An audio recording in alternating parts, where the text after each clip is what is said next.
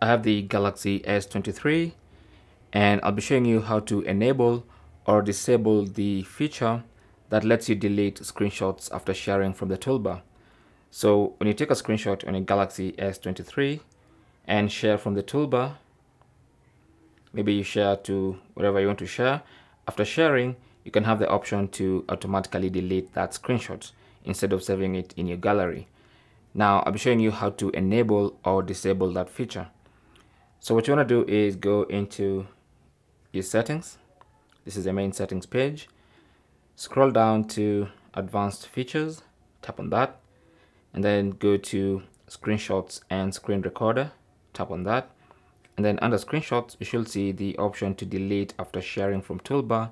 It's currently disabled.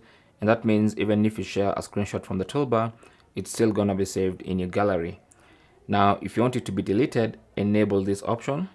And now, as soon as you share a screenshot from the toolbar, it's gonna get deleted right after sharing and not saved in your gallery.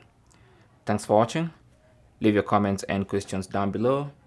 If you found this video helpful, don't forget to leave a like and maybe subscribe and I'll talk to you guys in the next one.